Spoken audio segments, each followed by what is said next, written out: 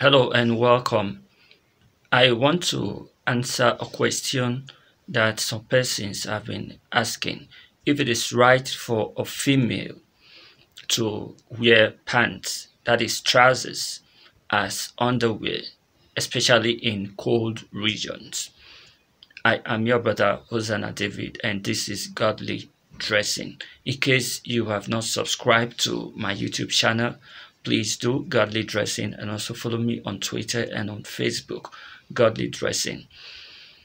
These are Christian ladies who believe that it is wrong for a female to put on trousers uh, as outerwear. But the issue is that what about in cold seasons? Like when you're living in places where it is snowing and you need to protect yourself against cold, against the harsh weather. What do you need to do? Me also, I believe, and I also teach that, that females shouldn't put on men's clothes, including pants, because of the seductive nature of female putting on pants and also blurring the difference between male and female, which is against the law of God. Males shouldn't put on females' clothes, while females shouldn't put on females uh, males' clothes. That is the law of God. But this time around, it is about putting wearing it as on this. In Genesis chapter 3, we read about the fall of man and God cursed the earth. And after releasing the curse upon the earth, the, everything changed, including the weather, the uh, lions eating man, feeding on man, which they're supposed to be ordinarily. We now have wasp, uh, killer bees, and different kind of things, thorns and thistles, even creatures in the sea that are harmful to human. It wasn't like this. So God, for some reasons, because because of lust for man to deal with lust and also for man to be able to cope uh, with the harsh weather condition, God decided to build uh, garments for the man and the woman. He made garments of skin. God was a first tailor. So far, permit me to say that God invented clothing. When God came into the Garden of Eden, the man and the woman were not totally naked because they sewed fig, uh, fig leaves to cover their nakedness. But there was this reasons that I just gave. There could be more.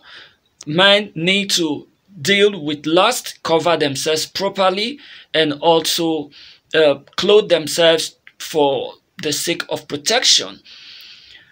So God invented clothes and God sewed garments of skin for man. It they what God sewed were garments of skin, which means it could cover the whole of the body. As far as uh, protection is concerned against harsh weather, uh, that one was taken care of. Now, if you are living in a very harsh uh, region and you want to, if you feel there is no other way to protect yourself against the harsh weather condition, if you want to put on pants as underwear, I don't see anything wrong with that. So long as you are not wearing it for people to see, you have a long dress to cover it up for people not to see it. Uh, you are not putting on uh, transparent outerwear. Uh, I have seen some people they, they wear uh, pants inside and then they wear trousers and then they put on long transparent outerwear. It is totally wrong because you are uh, attracting you will be attracting people's attention. Then also you have to make sure that you don't buy some of these uh, ungodly pants in the market. There are some you see when you see them, you know, this one is meant for the world. There are like, for instance, I've seen people putting on snake uh, skin materials. No Christians should put on that. Uh, I don't want to do teaching about that for now because I want the video to be as short as possible. Uh, I'm going to do a separate teaching on uh, snake skin materials and even other kind of uh, skin, snake skin fashion.